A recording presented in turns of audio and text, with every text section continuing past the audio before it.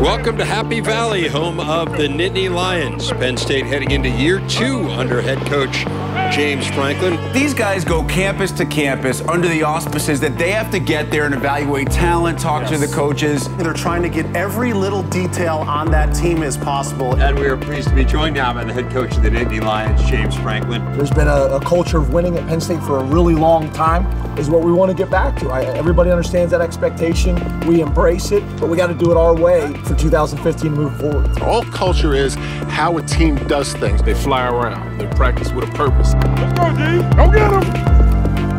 It's just experience. He just he, he knows how to take a team from year one to year two. He clearly knows what he wants. And as important, the staff knows what he wants. Let's go, man. Sense of urgency. Line 20,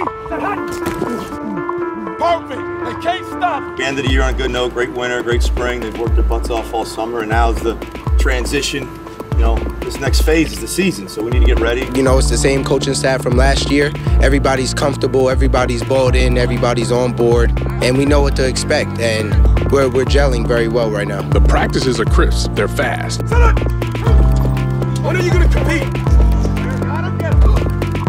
Their depth and skill at almost every other position on the field is dramatically different from the first spring. There are also some young guys that, I mean, when you first look at them, I mean, you got to go, wow. They're working hard. They're developing. I think they got great guys ahead of them right now to really push them and teach them how to work. They do a great job of pushing each other. They compete. They're they're all great competitors.